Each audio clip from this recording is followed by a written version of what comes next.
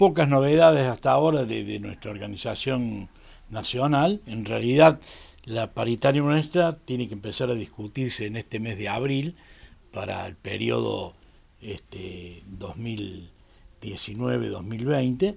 Este, si bien habíamos obtenido una buena paritaria el año pasado, que llegamos casi al 45%, no tenemos muchas expectativas de lo que pueda surgir ahora en función a la realidad de la economía, ¿no? Eh, de cualquier manera, este,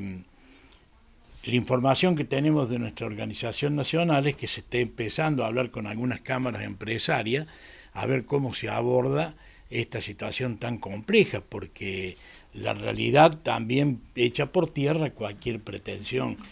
este, legítima que tenemos, porque este, vamos a tener una inflación nuevamente este año que ya en un tercer trimestre ha superado todos los, números previsibles, ya tenemos casi un 11-12%, lo que va a terminar seguramente de vuelta en un 40 o más por ciento en el año. Y abordar una paritaria, digamos, en este marco es muy difícil este, ver con qué mecanismos. De cualquier manera, este, la, la información que vamos teniendo es decir, habría algunas posibilidades de este, ir abordando con los sectores este, o las cámaras empresarias del sector la posibilidad de que mes a mes vayamos evaluando eh, la cuestión inflacionaria. Todos sabemos que este, desbordó, digamos, y,